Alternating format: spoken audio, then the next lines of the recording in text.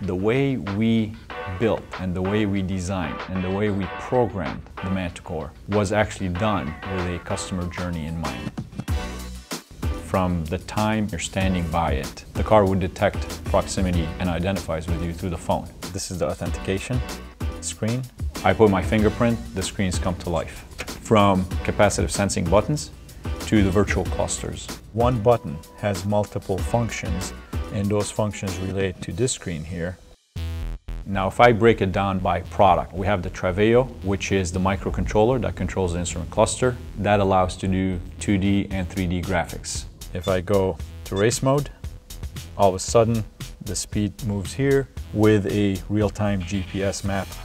If you move to the center stack, we have PSOC 6, which is controlling everything, and it's a dual-core architecture, so it has embedded security.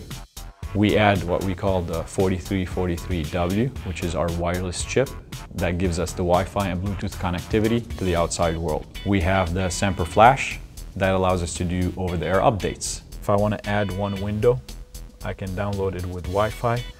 I can reprogram that button to have one more gesture up detection. The whole car is inherently wired with sensors.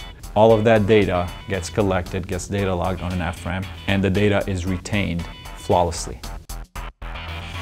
We put every technology that we have in this car. If we're able to do this with the car from 69, imagine what you can do with cars that already have a very strong baseline of electronics in them.